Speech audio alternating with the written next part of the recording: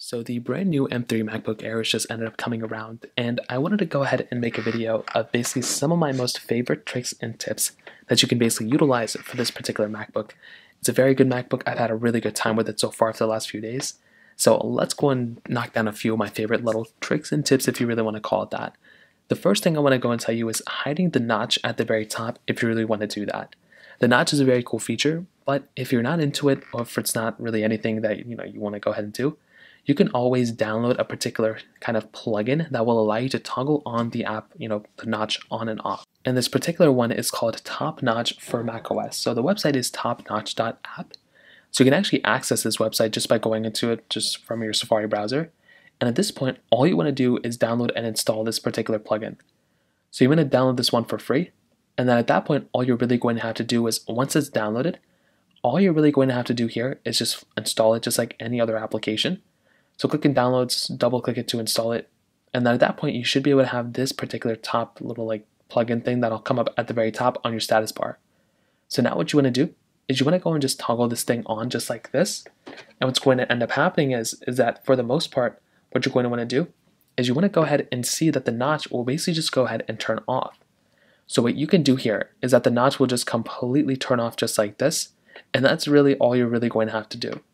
So at this point, you can just use your MacBook as you normally would, but the notch will basically be completely turned off. And that's really all you're really going to have to do here at this point. So now what I'd recommend doing is just turning this off right here. And then if you want to keep it on or keep it off, you can just do whatever you want to. But that basically is how it works. That's the first thing to do. So the next thing is basically enabling or disabling dark mode. Now on your MacBook, it's a very easy thing to do. What you're going to want to do is you want to go ahead and click on your Apple logo right up here. And you want to go and click into your system settings. Now when you do that, you'll get into this type of panel, and this is a really easy thing that you can basically do as well. Now at this point, what you're going to want to do is, once again, it's a very, very easy thing to do. You want to go and get into your display settings. So hop into display. So you see display in one of these options. So right here, click into display. And then you'll see a couple of different options. So once you're in your settings, you want to go and click on appearance, and this type of panel is going to come up. Now when you come here, all you're really going to want to do is click on the light mode, the dark mode, the auto mode. You can change whichever type of preference in the styling and the appearance that you actually want on your particular MacBook. And this is actually pretty cool because it will allow you to go ahead and basically get a little bit more, I would say, kind of like styling of your particular Mac, which is actually pretty cool. So then what you want to do here is you can change your accent color too. You can change the color from this one to this one to this one. I mean, you can kind of customize this whichever way you want to which is genuinely such a cool thing to do. Now also the accent and the highlight color here, you can change it whichever way you want to. You can customize a lot of these things, which is actually very cool. And this, once again, in and of itself, is another really awesome thing that you can kind of see and kind of check out for your particular Mac, which is genuinely a super cool thing as well. Now, on top of that, another really cool thing on your particular MacBook is enabling different focus modes. So what focus modes allow you to do is it allows you to kind of have somewhat of like a customizable type of, you know, I guess a customizable type of, you know, do not disturb mode on your particular device. So this is a very cool thing because what it allows you to do is it kind of allows you to kind of have a more customized do not disturb mode for your particular, you know, whatever you're doing on your particular Mac, which again is another really cool thing in and of itself. So what you can do is you can do custom, you can do gaming, you can do personal reading, you can kind of break it down whichever way you want to.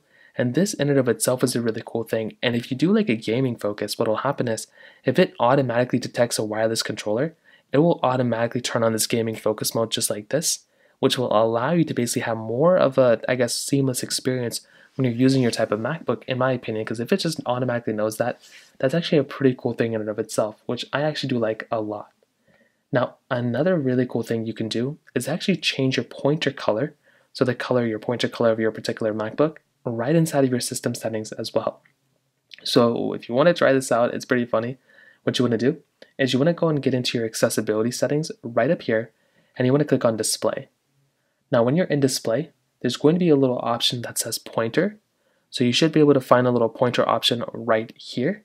And then you can go and change the pointer size. So you can just change this if you want to. If you want to make it bigger or smaller, you can see my pointer size is getting bigger or smaller just from that.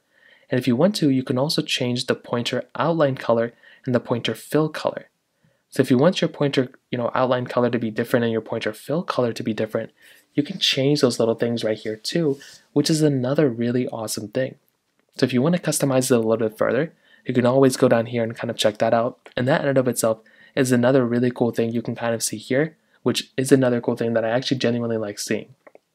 Now, on top of that, another really cool thing is under your battery options.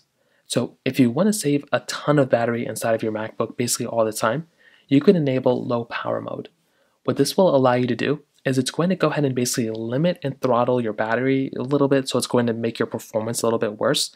And it's also going to, I think, dim down the display a little bit, but it's going to save a lot of battery on your MacBook. So if you're in a pinch, if you're less than like 10% or 20% on battery, you can always just enable low battery mode. That's something you can do.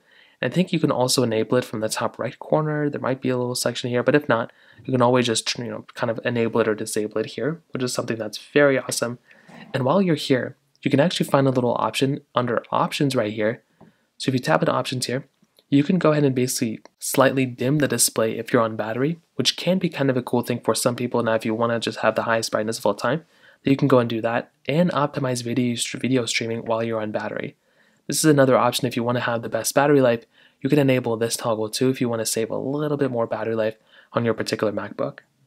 Now, another thing is if you want to go and check it out, is outside of this, on the top right corner of your particular Mac, you can always customize these toggles that are up in the status bar.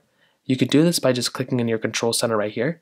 You could always drag and drop a particular, like if you want an airdrop toggle right up here, you can go and drag and drop that here. If you want to disable, like if you want to take off a other toggle, like if you don't like this toggle or whatever, you can also just turn off a toggle by just dragging it and dropping it back into here, like if you don't want Wi-Fi or whatever. You can customize a lot of these things here, which is really nice. So once again, you can kind of turn on or off AirDrop whichever way you want to, but there's a lot of cool little you know toggles to kind of turn on here. Under display, another big thing I would always recommend doing is keeping your True Tone on because it warms the display a lot and it makes it a lot nicer. But under display settings, I think the average person probably doesn't want to, you know, to automatically adjust your brightness automatically. That can be kind of an annoying thing because randomly your battery light, like your bat, your display will just randomly go, get higher or lower.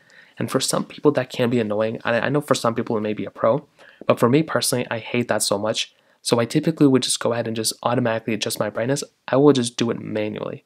So I will just go ahead and disable this for the most part because once again, that can be kind of an annoying thing that some people will, will kind of run into. So you might just want to go and try that out too. Now, those are basically the main things to kind of do for the most part. Now, if none of those things are working, if basically you want to go ahead and you know, essentially just kind of enjoy your MacBook without having to do all this other crazy stuff that I kind of talked about, the biggest thing I could recommend the average person to do is to take care of your MacBook and putting a case on it and keeping it in as good condition as possible. I don't think with MacBooks you have to have like the most elaborate cases of all time, but I do think even a skin can go a very long way. So putting some sort of skin on it, putting some sort of even like a cheap plastic case on this type of thing will probably secure your MacBook and make it that much more durable. I know some people who have like covers on their keyboards and stuff and screen protectors. I don't know if you necessarily have to go that route, but I would recommend for the average person out there putting a case on your you know screen protector putting a case on your MacBook, not screen putting a case on your MacBook, keeping it in as good condition that way is probably one of the smartest things you can do there, just so you can kind of keep your MacBook in as good condition as possible for a long period of time. So those are probably some of my most favorite tricks and tips if you really want to call it that, for your particular MacBook out there. If you have any other thoughts or questions, please let me know in the comment section below. Hit the like button, that will mean so much, but definitely hit that subscribe button. More importantly than everything else, I love every single one of you guys. Hopefully I'll catch you guys in the next video. Peace out till then.